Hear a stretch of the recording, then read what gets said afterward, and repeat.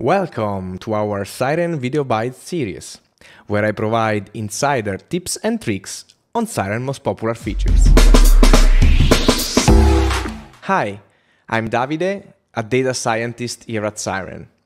Um, one challenge that analysts face today is sharing the intelligence they find during their investigation. So today, I'm going to show you how you can customize your Siren link chart and make them easier to read before sharing them with the rest of your team. Let's dive in. So here uh, we have a typical investigative link chart displaying records uh, that are representing individuals, cards, uh, crimes, and messages. The lines between the records represent the connections uh, between them. For example, these two cards belong to Roger, which is our main suspect. Now we want to highlight the fact that is our uh, main suspect. So we're going to select this record and customize it to make it stand out. So I'm going to change the size to 4.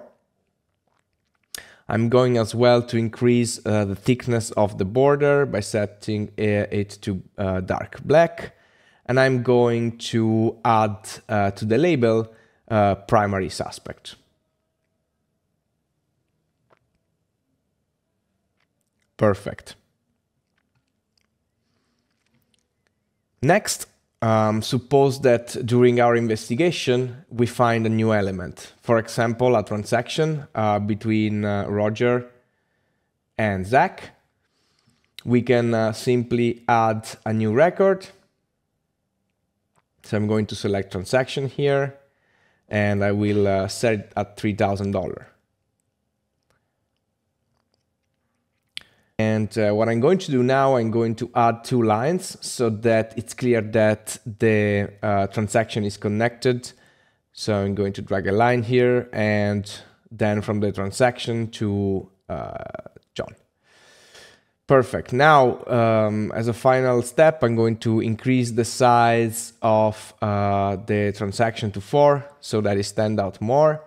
And here we have our nice uh, link chart, customized and more clear before sharing it with the rest of our team.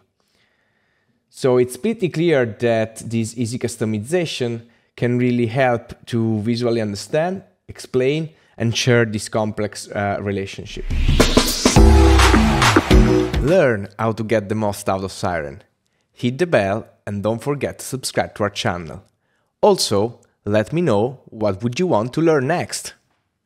Thanks for watching.